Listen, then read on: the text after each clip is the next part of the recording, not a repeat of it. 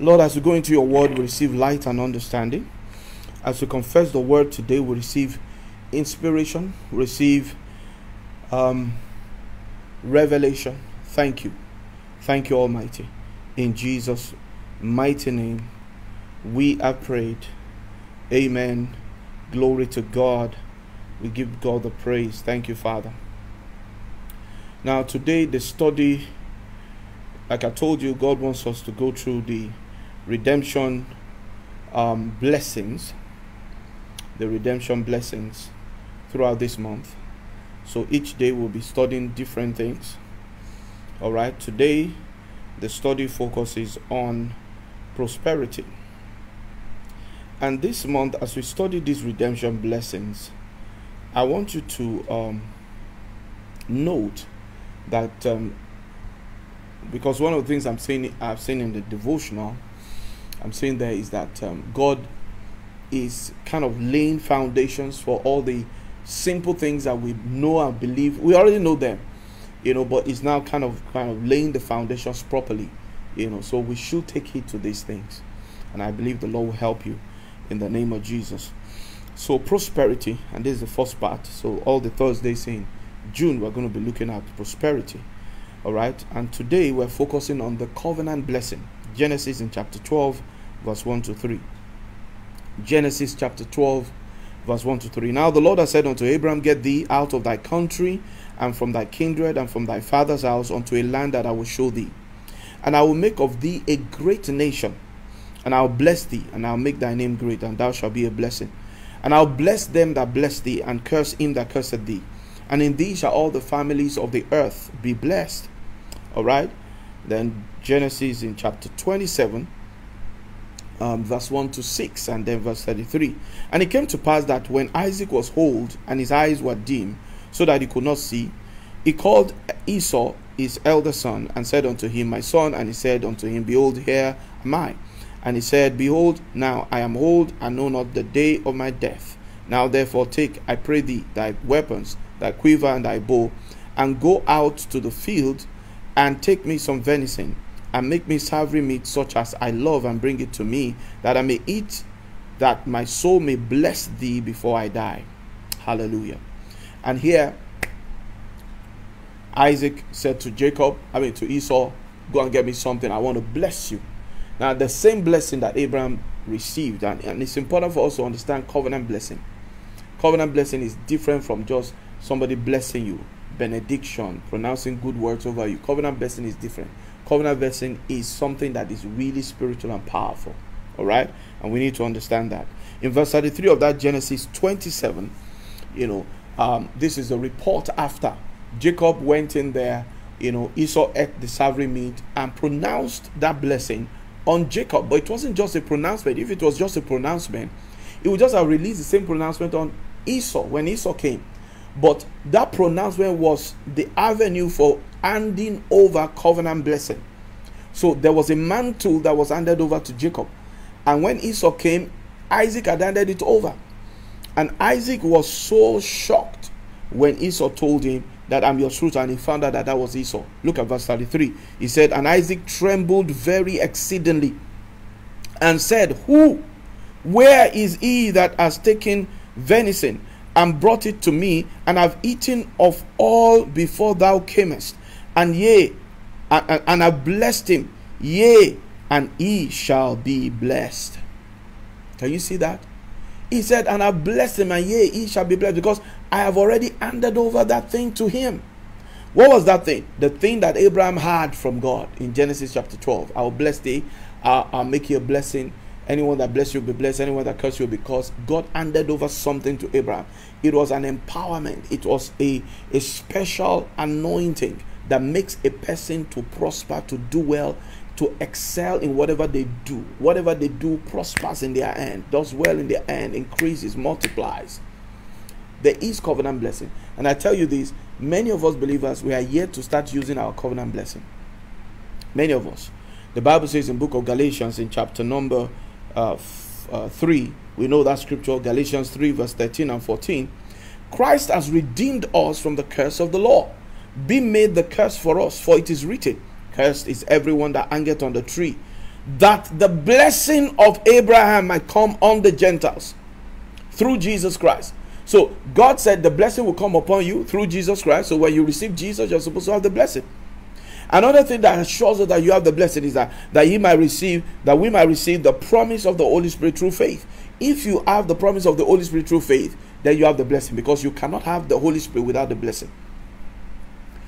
You get born again, the blessing is put upon you, and because you have the blessing, you can get the Holy Ghost.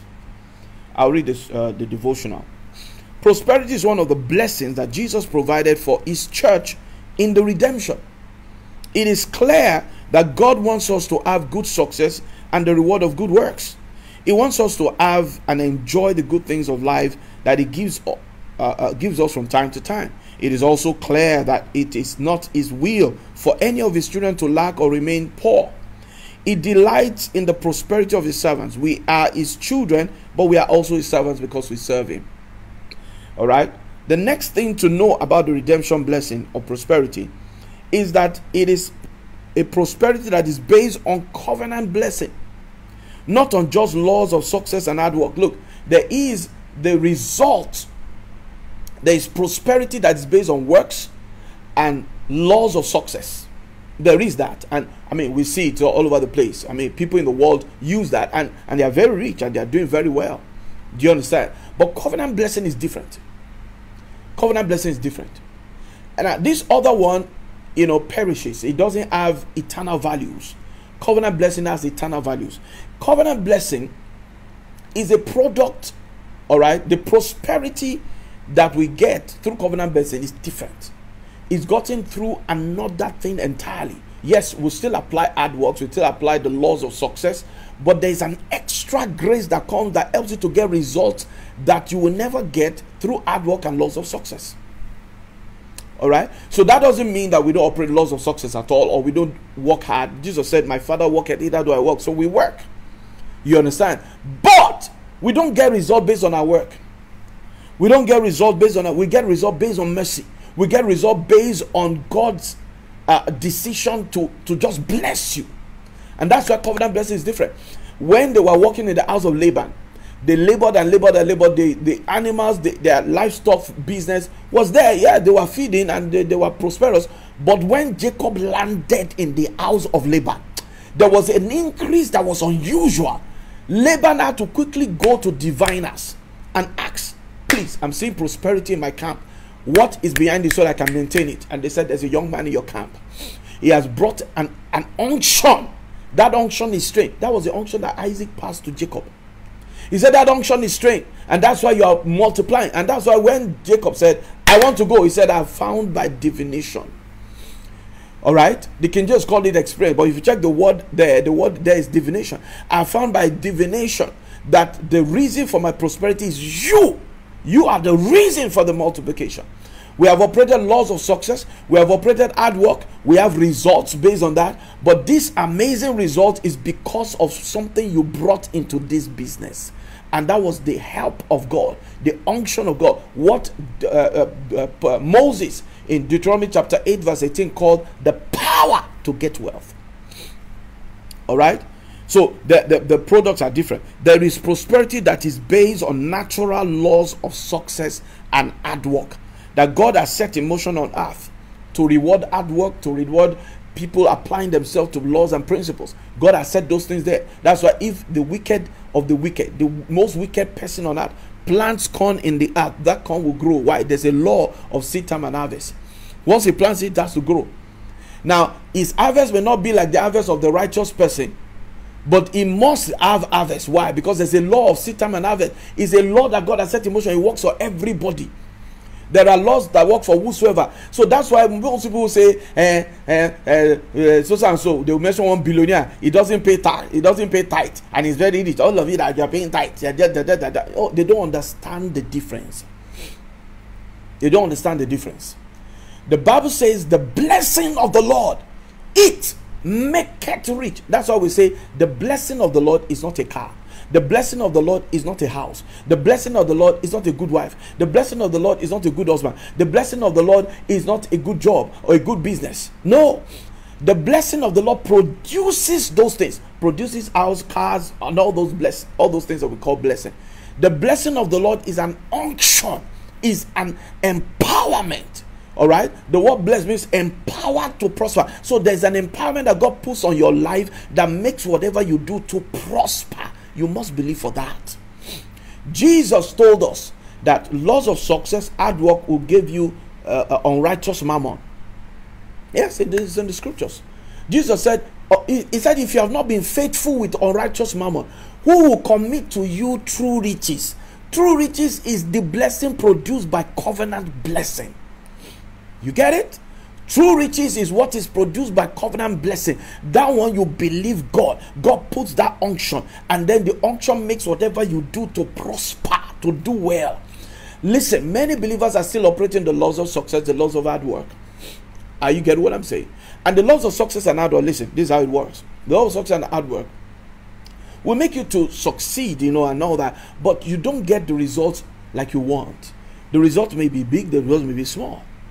You understand? It, it is not consistent. It doesn't matter how much you apply yourself. You know, success teachers have taught people if you do this, you do this, you do you get this kind of result. Yes, you see people do the exact same thing. They grow up in the same house, they learn the same thing, but some will go very far, the others not go very far. Covenant blessing is not like that.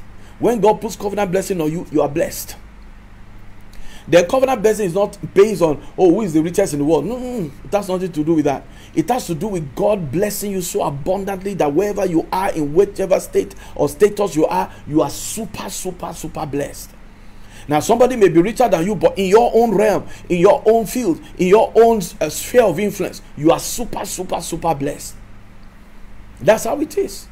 That's true riches. It's a product of covenant blessing. And then you know one thing that's very powerful? He said, The blessing of the Lord, it maketh rich. So riches is not the blessing. The blessing produces riches. All right. Then he down said something. It maketh rich and addeth no sorrow. The true riches, when you get true riches, you can't use it to womanize. I'm telling you it is when you get unrighteous mammon that you might be thinking of having a girlfriend uh, after you have you have married your wife all these years your wife has suffered with you now you are not thinking of of all kind of crazy uh, things. You understand? Why? Because it is unrighteous mammon. It stirs the flesh. It stirs carnality. It feeds carnality that is still there. That's why you see they say that you don't know a person until you put a lot of money in the person's hand. That's when you will really know who that person is the person that is behaving like he's very humble now, by the time you put a lot of money in their hands, you will not see another man. Because there's a flesh in them, you know, that is still there, that unrighteous mammon will feed. But when God gives you true riches, it doesn't feed flesh. Flesh can never feed on true riches. It's strange, but that's how it works. You understand? That's how it works. True riches is a product of God's power. And when it comes, it doesn't fit. That's why he said it added no sorrow with it. You will not have addition of sickness, addition of this, addition of sorrow, addition of pain. No, no, no, no, no. Why? It's true riches. Blessing based on the covenant. All right? Blessing based on the covenant. And I want you to covet this today. I have to stop. I want you to desire this with all your heart. He said, The blessing of Abraham has come upon you because you are saved. Hallelujah. All you need now is to activate it. How do you activate it? Believe what I'm saying. Believe what I'm saying. Start saying it. I, I activate the blessing of Abraham on my life. We have that confession in our confession. I am blessed with the blessing of Abraham. So I'm empowered to prosper. Money follows me and serves me as my slave. I am blessed with abundance of it. I'm blessed with opportunities, open doors in all the field. All that is part of the confession of the blessing, the covenant blessing that produces true riches. True riches is the one that has value here on earth and has value in heaven. Yes. When you have true riches, you will give. You give unrighteous mammon. Yes, you can give unrighteous mammon too. You must have the heart of giving. But a lot of times, when unrighteous mammon is there, people don't like to give. Yeah. When they do uh, charity stuff, they are doing charity stuff just for name. They are doing charity stuff just uh, to tie down one or two things here and there. You know, there's always one hidden agenda somewhere around it. You sell drugs. All right? People take drugs and some die and some don't die. Then you go and build rehabilitation center for drug addicts. Is that charity? If you really want to stop the addiction, stop the drugs. Yeah, that's how it is. You sing songs that promotes prom- promote uh, promiscuity, that promotes uh, uh, uh, uh, uncontrolled sex, sex, sexual life. You know that is not based on scriptures. You promote that, and then the girls get pregnant, and then and then you build a charity to service girls that are getting pregnant. Stop singing the song. Change the song. Change the content of the song, and then you change the getting pregnant, uh, pre- getting pregnant, running them crazy, making them to do crazy things. You understand? Change the song. If you change the song, you change the story. And then you don't need to build a center to be helping uh, um, um, um, uh, teen, teen, teenage mothers or teenage uh, pregnancy and blah, blah, blah, and promoting abortion and all that rubbish. Change the song. So, and then they'll present, the, oh, they're, they're, they're loving people, they love humanity, they do charity, they, they, they, all rubbish. Rubbish. Complete rubbish. You don't want them to get pregnant, sing the right song into their heads. They follow you, they are your fans. You have great influence over them. Stop wearing rubbish too. Stop wearing rubbish. That's why they're wearing rubbish. That's why they're getting raped. You say, oh, but the guys should behave themselves. Yes, we know the guys should behave, but, but the guys that are singing for the guys, so they're also singing rubbish into their head now. And then they all go and set up charity nonsense and they will say, oh, they are loving humanity. They are not loving anything. If they want to really love humanity, they should change the content of the songs. They should change, they should change the content of the songs. They should change the content of the songs. That's what they should do. Hallelujah. Glory to God. True riches. That's what God wants us to have. Prosperity produced by covenant blessing works differently. It recognizes hard work and uses wisdom, but responds only to faith in the finished work of Christ. This faith draws the power of God that makes rich and draws wealth.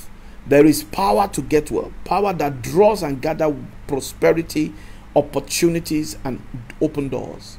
Power that flows into situation that makes things so happen. There is true riches.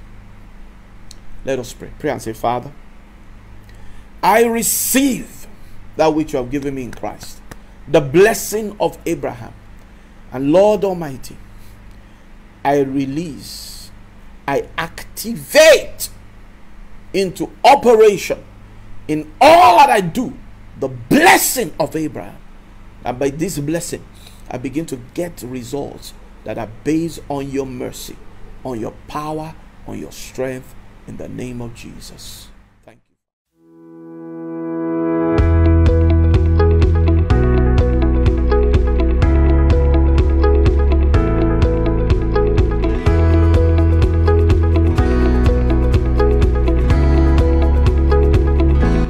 Pastor Paul Olashore every Sunday, 9 a.m., at Elohim's Tabernacle International, Lekki.